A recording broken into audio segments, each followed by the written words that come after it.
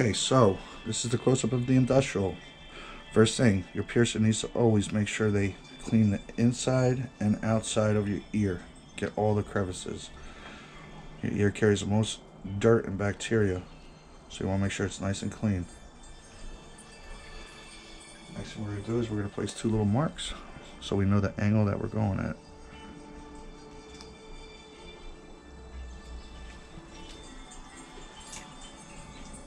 Now this is two piercings. A back helix piercing and a forward helix piercing. Now, like I've described in my other videos before, not everybody is suitable for this piercing. So check your ear to make sure and get a consultation with your piercer. This is your back helix right here. If your back helix goes behind the flat of your ear, you're not suitable. The bar cannot rest on the flat of your ear. Otherwise, it'll cause you extreme pain and it'll give you headaches. Touch your head. Big breath in, big breath out.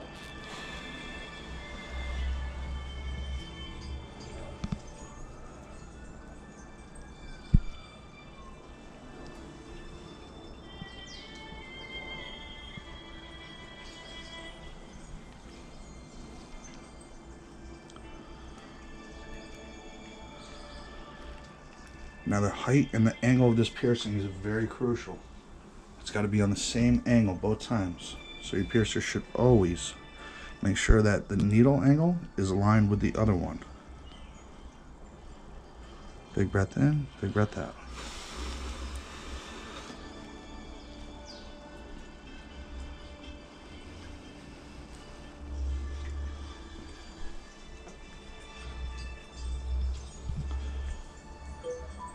Now once you get pierced, you always make sure that that bar has plenty of space from the flat of your ear. And you should always, always be able to see a small portion of that bar on both sides because there is swelling that's going to happen. So you want to have room for it to swell. You don't want these balls to be touching the sides of the ear. Otherwise, when it swells, it's going to cause some severe pain. Now, one way to always check to make sure that it's a good piercing is you could take a little tiny piece of paper and as long as it goes underneath, you're perfectly good. Okay?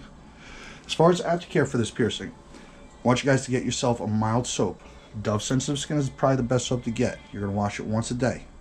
You're also going to get yourself NeilMed's Piercing Aftercare. This is probably by far the best piercing aftercare I've come across.